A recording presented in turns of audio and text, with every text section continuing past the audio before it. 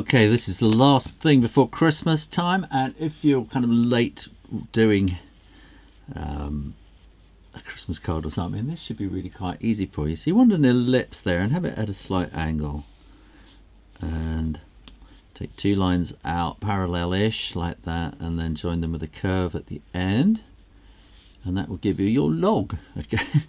and your spiral kind of bit will be a bit like that. And then all you really need to do is add some a little bit of holly to make it look Christmassy. So put four little berries like that, a curve there and a curve there and a curve there and a curve there. Just going to kind of go like that. Then you're going to have, want it on a kind of one of those serving boards. Cake board. Cake board, that's the word for it, isn't it? There we go. So you can start by drawing in the first berry there, and then the second berry behind it, and the third behind that, and the fourth behind it again. Then put in these curves. These are the ribs of the holly. And then just flick these out into holly leaves. Flick, curve, curve, curve, and down. And then you need a kind of a crumbly line for the kind of chocolatiness of the Yule log cake.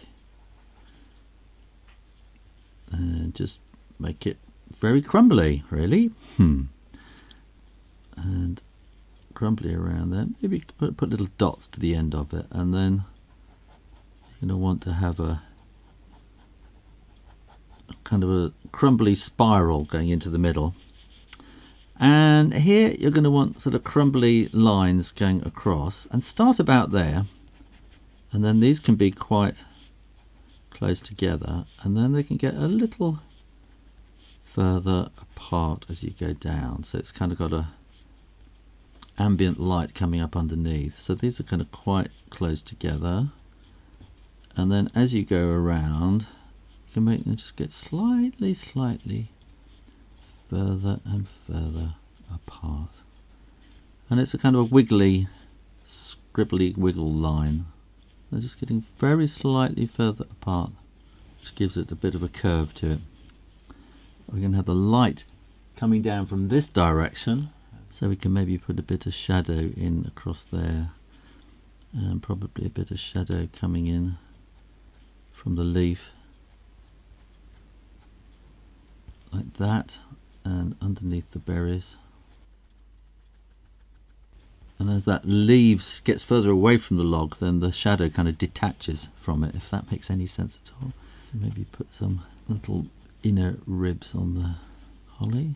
Although I think in reality they would be kind of a pale green on a dark green so I'm kind of doing it the wrong way round. And then we want the cake boards. I'm going to draw around like that. And then this part here I'm going to bring around and just kind of dot it there. This will come around and then I'm just going to dot to there.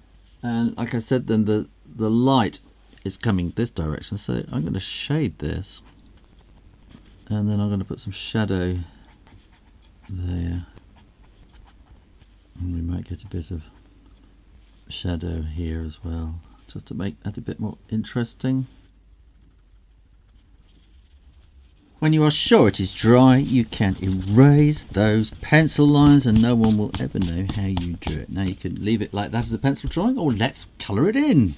Uh, I'm going to start with just a little bit of kind of silver on the board here just to give it a kind of a silver paper kind of wash. Not very convincing. and then we're going to want these berries. Now don't paint them in completely, leave a little sort of blob of white like that. If you want to make them a bit more intense, then drop in a bit of darker red. Just down there. Quite a bluey green. Now I want a slight hint of yellow green in that. It's not... I don't think honeyberries are that bluey green, are they? People keep asking me about this brush. It's a this is an aqua brush. Sometimes I use this. Is an aqua brush, and sometimes I use a um, Derwent water brush. This is just the first one that came to hand. This is a Pentel Aqua brush. And the water is in the handle. I'll put Amazon links down below. Now that's just doing kind of two tones of green on there. And then all we need is to fill in this chocolate log and I'm going to start off with, uh, this is burnt sienna. So I'm going to paint the whole thing in burnt sienna just to give a kind of a basic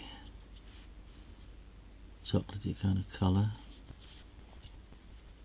And then I'm going to add in some sepia, which I'm also going to add in where the shadow is, kind of underneath there. So we really want the sepia down here, and then we can let it uh, mix in some more sienna, let it kind of roll up so that it's not all dark and it's get, getting lighter to the top there. Can you see what I mean? I hope so. and then again we'll do round on the side there and a bit more shadow there. I think we should have a bit of sort of shadow, something going on there. And around there probably. And this is probably where I'm going to ruin it, but I'm going to just add little bits of kind of dusting on the top there. Maybe a bit of swirling around the edge like that uh, on the end. Uh, is that convincing as dusting? I don't know. We could probably put a bit on there too. There you are, how to draw a Christmas log and a very Merry Christmas to you. Well, I hope you enjoyed that, and if you did, why not go and learn how to draw and paint a Christmas nutcracker soldier? That's very seasonal. Or have a go at the mystery drawing. Either way, make sure you are subscribed to the Shoo Rayner Drawing channel, and why not go and get my ebook? Everyone can draw. It's very, very cheap and very, very good. Uh, just click on the link and off you go. In the meantime, keep drawing, drawing, drawing. Practice, practice, practice. and have a very, very happy Christmas if you do all that kind of thing. Otherwise, happy holidays to everybody. You take care now. Bye bye.